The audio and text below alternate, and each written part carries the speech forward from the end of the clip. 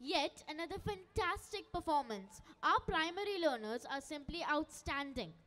Siddharth, I cannot wait to see the rest of the spectacular performances. What do we have next?